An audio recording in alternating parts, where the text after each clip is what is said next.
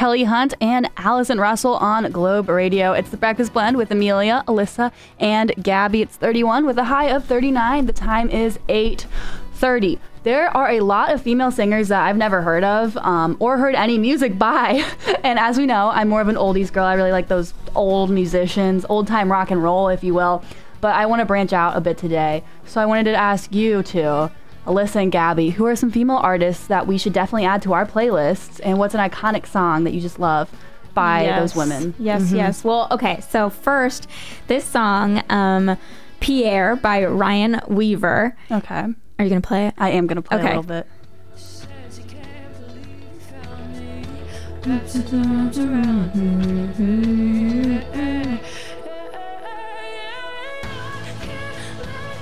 It really just gives me a boost every time I hear it. I'm just like, okay, I can do this. Yeah. The motivation and I don't know. I just love the song, know. and I have actually uh, been giving this song to people that Yeah. uh, don't know the song, and they love it. So no, I love this song very, very much. Do you want to go, or do you want me to say my second song? I mean, Alyssa, Either you way. can go if you Yeah, I'll want. go. Okay. Yeah. Um, so a song that I really like is "Like a Star" by uh, Corinne Bailey Rae. It's one of my favorites.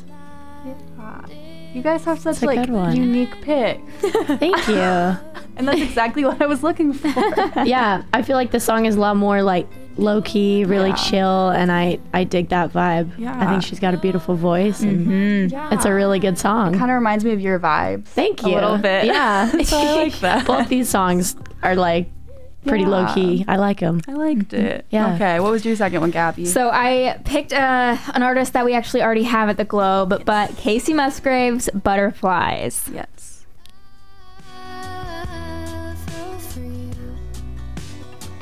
Now you're lifting me up instead of me down. I like this song. I had never heard it before either.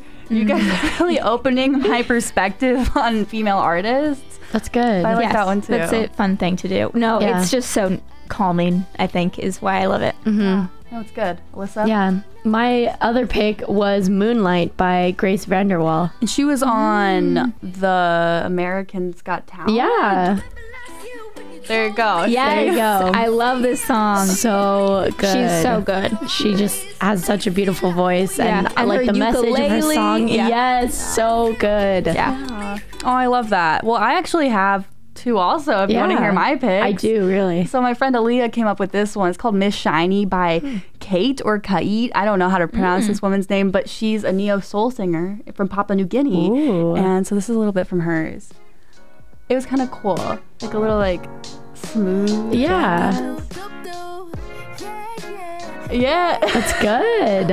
That's very nice. Right? She won um, a music award for this song She called me in Best Cool. Soul and R&B. Yeah. That's awesome. I like that song. And then, you know, I had to pick an oldie. Of course. Uh, yeah.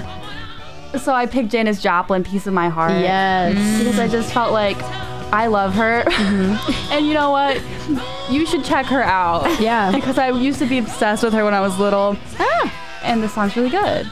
It's very nice. Those were some really good picks that you guys had. Thank you for that. Thank Thank, you. you. for indulging me in my little game, if you will. Of course. I love these games. Always. Good. I'm glad. I'm glad. If you have any up and coming female artist or classic one, call me at 574 535 7488. Let me know who I should add to my playlist. Up next, it's the news, weather, and then music with Swan Song by Lindsey Buckingham on 91 One The Globe, your station for culturally progressive music. My love is quiet, still waters run